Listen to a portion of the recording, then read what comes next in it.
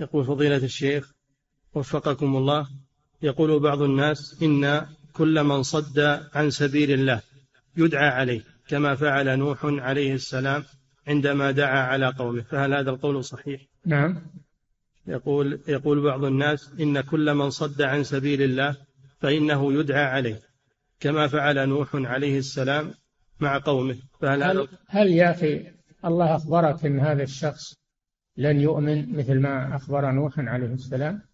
لا هذا ما هو بحجة. نوح ما دعا إلا لما أخبره الله. وهل أحد يستحيل عليه أنه يتوب؟ أنه يتوب ويرجع؟ أن تحكم على أحد أنه ما يقبل الدعوة أبدا؟ ما يجوز هذا. نعم.